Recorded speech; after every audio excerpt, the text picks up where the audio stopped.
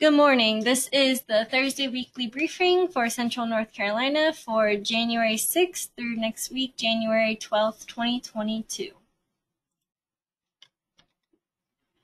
So the upcoming weather pattern kind of busy at the beginning and then uh, middle week it kind of slows down. So Thursday through Friday, which is which is today through Friday night, a wave of low pressure will, along with a cold front will cross the region early tonight, bringing a chance of rain overnight and into very early tomorrow morning.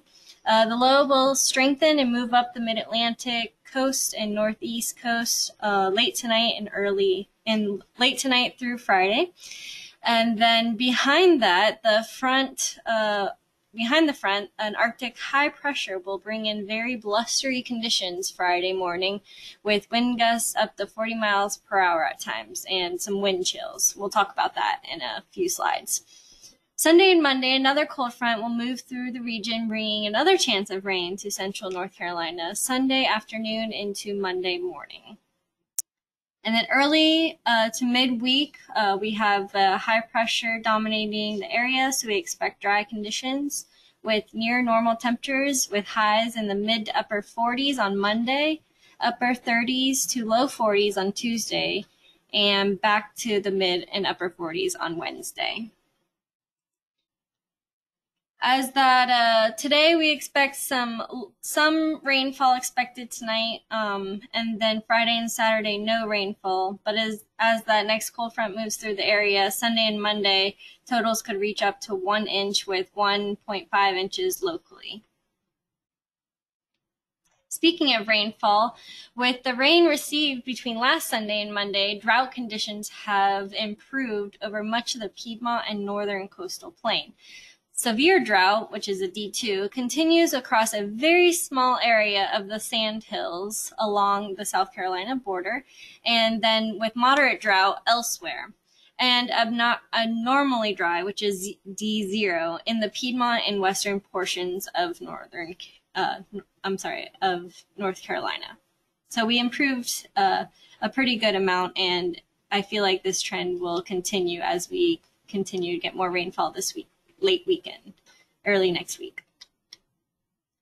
The SPC severe weather outlook uh, has nothing for Thursday, Friday, or Saturday as um, we are in no threat for severe weather. The, we have a 6 to 10 day temperature and precipitation outlook on the left and a 8 to 14 day temperature and precip outlook on the right.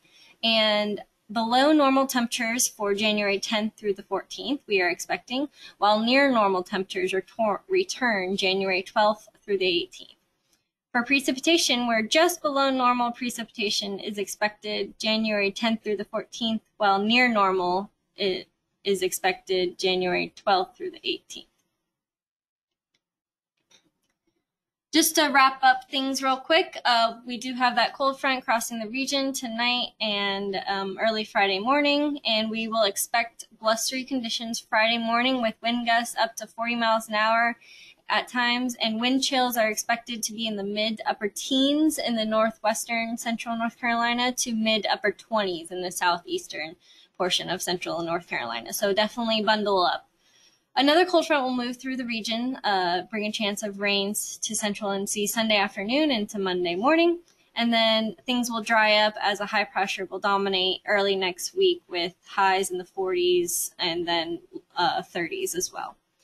And hazards and impact, as I said, the gusty winds on four, up to 40 miles an hour on Friday and wind chill values. And then we also have uh, chance of patchy black ice possible near the Virginia border on Friday morning.